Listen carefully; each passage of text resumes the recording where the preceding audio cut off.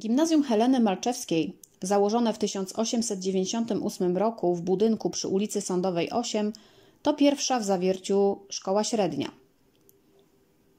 W roku szkolnym 1918-1919 otwarto tu pierwszą w historii szkoły klasę ósmą, czyli klasę maturalną. W tym czasie do szkoły uczęszczało już 200 uczennic. Wydarzeniem świadczącym o patriotycznym wychowaniu młodzieży tej szkoły, oczywiście, było założenie w konspiracji organizacji harcerskiej, pierwszej organizacji harcerskiej na terenie miasta.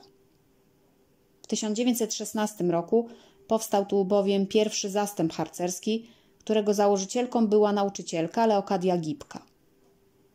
W 1917 roku z zastępu powstała druga zagłębiowska żeńska drużyna harcerska imienia Emilii Plater.